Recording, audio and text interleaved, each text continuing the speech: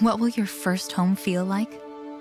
It'll feel like going from overwhelmed to overjoyed, from signing documents to documenting memories, from wanting a great school district to building her entire world, from can I do this to I did it.